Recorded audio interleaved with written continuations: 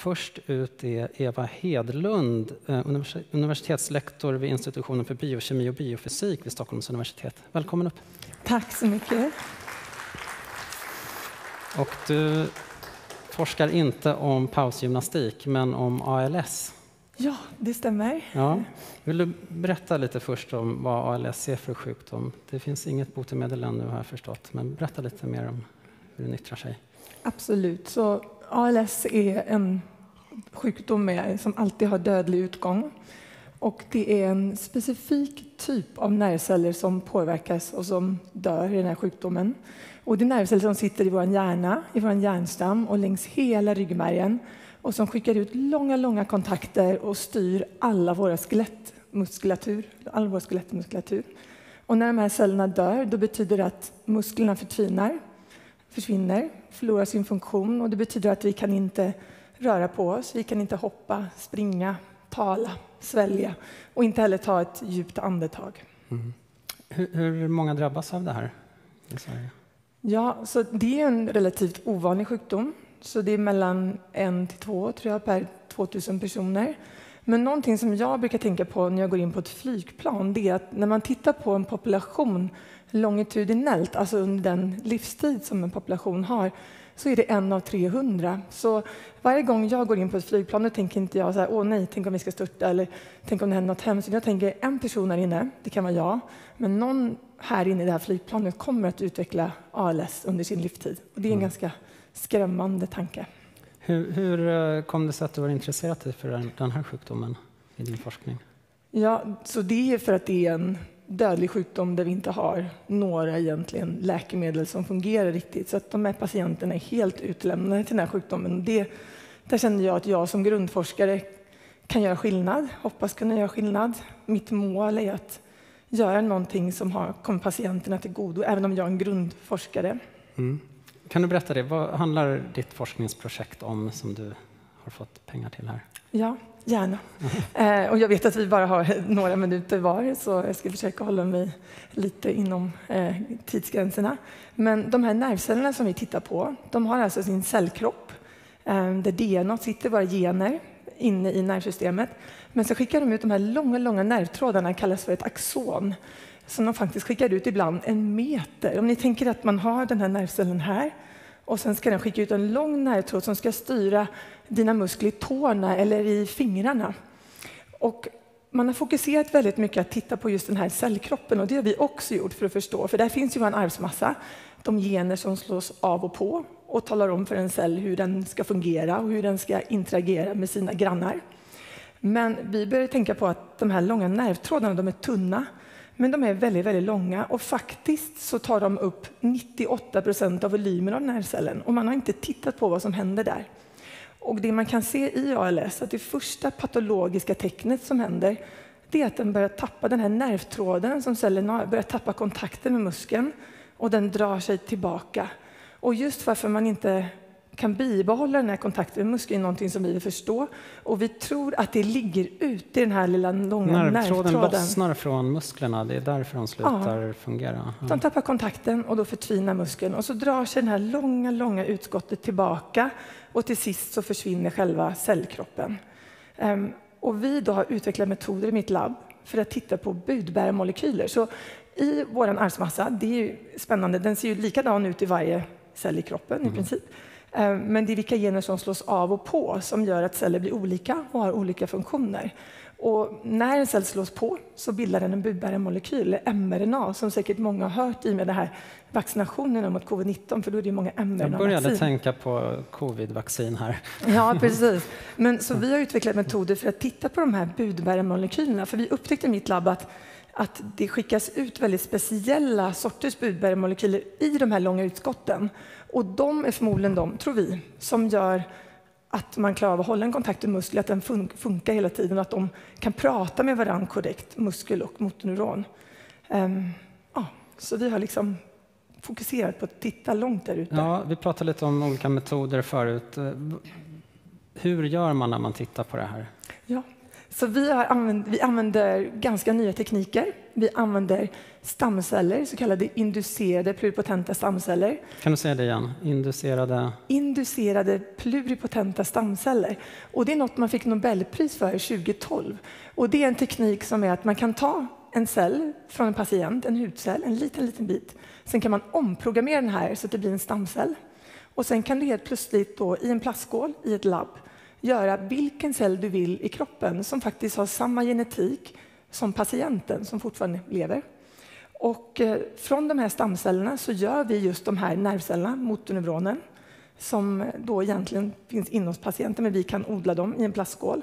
Och så kan vi också göra muskel. Och sen använder vi väldigt speciella system för att eh, ha de här och ha bara kontakt via det här långa utskottet. Då. Ehm, ja, så så går det till. Mm. Eh, du säger att det här är grundforskning, men hur, hur, ser ledet ut från det som du kommer fram till och en behandling? Ja. Så för mig är det väldigt viktigt att det vi gör kommer en patient till godo i slutändan. Och det vi gör i mitt labb är att vi, okay, vi tittar på väldigt molekylära grejer egentligen, de här långa utskotten, i de här stamcellsderiverade nervcellerna och så tittar vi på de här budbärarmolekylerna. Men då har vi också system då där vi har byggt upp den här kontakten, en mänsklig synaps mellan muskel och nervcell. Och så försöker vi se då om några av de här sakerna, liksom budbärarmolekylerna, som förändras lite när man har en mutation exempelvis som orsakar ALS. Och de kan vi också introducera med hjälp av gensaxar. Eh, men vi kan också eh, använda en patientcell som kanske där sjukdomen kanske har uppkommit sporadiskt eller det finns en eller det finns en mutation. Och då försöker vi modellera de här och se om det stärker kontakten. Så om vi ändrar lite på budmolekylerna, stärker det kontakten i vårt plastskålsystem? Och om det gör det, om vi ser någonting i de här systemen, då kan vi gå in i djurmodeller eh, och, försöka, och använda genterapi. Det betyder att man introducerar en gen och en, kanske en plats där genen ska finnas och vara aktiv och se om djuren lever längre. Och det är något vi har gjort i, min, i mitt labb i flera omgångar. Då. Mm. Eh, gjort så kallad genterapi. Okej, okay, så att det skulle potentiellt sett kunna bli en genterapi för människor så småningom?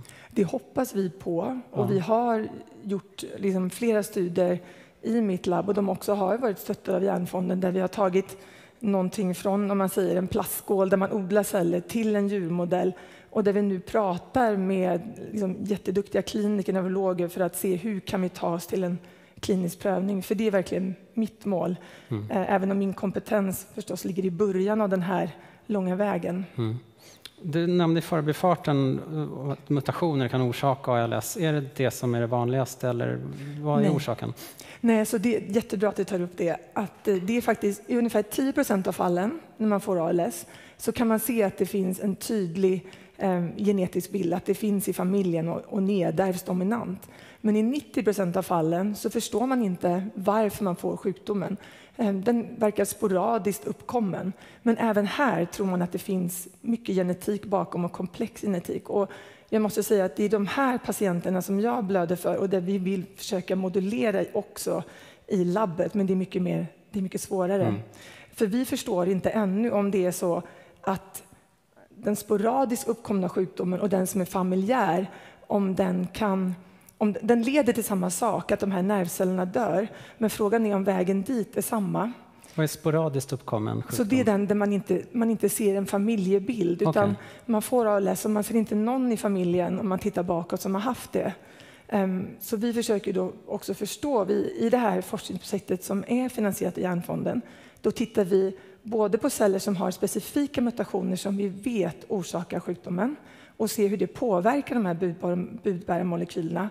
Får man en annan distribution, blir det andra typer? Och så jämför vi olika mutationer och vi jämför också nervceller som vi har gjort från sporadiskt uppkomna eh, patienter, då, eller mm. sjukdomen är sporadiskt uppkommen. Men vi vet inte än, det ser ut som att det är ganska olika vägar från våra preliminära studier, att man kanske måste behandla varje om man säger, mutation och varje, ja, den sporadiska på olika sätt. Mm. Hur har kunskapen om ALS utvecklats? Är det liksom, händer det väldigt mycket nu eller när började man överhuvudtaget förstå den här sjukdomen om man blickar tillbaka lite? Ja, det, det händer oerhört mycket. Så jag har jobbat inom ALS-fältet sedan 22, så nästan 20 år då. Mm. Och det har hänt otroligt mycket. Så man har gått från att prata om mest miljöfaktorer till att prata väldigt mycket genetik och skapa mycket spännande system där man faktiskt kan studera och just de här stamcellerna och att kunna titta på en patients celler ehm, det är ju helt fantastiskt för då kan vi förstå saker mer för man kan ju inte ta ut en nervcell från en patient men här kan vi göra dem och studera förloppet i en plastskål. Det ju, det ibland, faktiskt, ibland talar man om att man odlar en hjärna i en plastskål. Ja. Är det det ni gör? det är det vi gör. Vi odlar Ja. liksom minihjärnor och vi odlar miniryggmärgar och vi odlar små minimuskler. Mm. Faktiskt. Och hur långt fram ser du att det finns, om du ska blicka framåt, när, när har vi ett eh, läkemedelsgenombrott?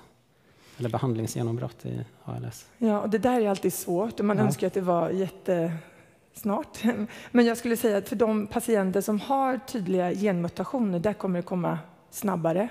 För det finns nu tekniker som man kallar för antisens-oligos eh, och där man helt enkelt försöker trycka ner gener som verkar orsaka sjukdomen. Och det finns kliniska prövningar som pågår nu för flera av de gener som dominant orsakar sjukdom. Var det här mer de som hade just sporadisk ALS? Då, Nej, det är just, de, där finns det ju ingenting och där är det ju inte alls tydligt. Och där behöver man försöka förmodligen hitta, det tror vi då, gener som man kan modulera för att en nervcell ska må bättre generellt sett. Ehm, Men då måste vi också förstå mycket mer vad som går fel. Och, eh, ja. Men den här stora gruppen som har i släkten, där såg det ljusare ut? Det Ja, och det är en liten grupp, det är ungefär 10 procent.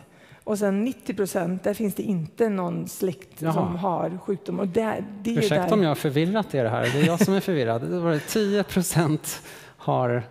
En har... tydlig genetik Ja. och där man, har mutation, man kan se att det är familjärt, så det är ner, där dominant. Det betyder att det räcker med att en förälder har fått sjukdomen så kommer barnet eh, tyvärr att få sjukdomen ofta. Mm. Ehm, och i 90 procent av fallen förstår vi inte varför man får sjukdomen. Och det är de patienterna där man verkligen behöver hitta någonting. Men det kommer inte vara, ja, det är inte det, de enkla om man Nej. säger patienterna. Men det är de du jobbar med? Jag jobbar med både och. Både och? Ja, Ja. Så vi tror ju att vi kan förstå mycket genom att titta på de familjer där man har det dominant nedärvt, men också att vi måste titta på de, de här sporadiskt uppkomna där man inte förstår varför sjukdomen har uppkommit och försöka jämföra de här och se om det är liknande mekanismer eller inte. Mm. Ett oerhört spännande forskningsfält. En, Ja, eh, det är det. Och det händer otroligt mycket. Och det, är mycket. det som är så fantastiskt också det är att det är mycket samarbeten mellan forskargrupper i Sverige och internationellt. Så man pratar med varandra, man samarbetar, man försöker hjälpa varandra väldigt mycket. Mer än att konkurrera försöker man se hur kan vi eh, utveckla tekniker och hjälpmedel för att eh, ta det framåt. För jag tror att alla blöder väldigt mycket för de här patienterna eh, där det inte finns någonting. Mm. Ja, alltså, hoppas verkligen att det går framåt och eh, tack för att du berättade om din forskning. Tusen tack. Ja, Ja. tack Eva.